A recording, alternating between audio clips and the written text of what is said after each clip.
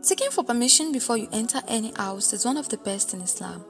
Allah says in the Quran, O believers, do not enter homes other than your own until you've asked permission and greeted those in them. That is better for you so that you may be mindful.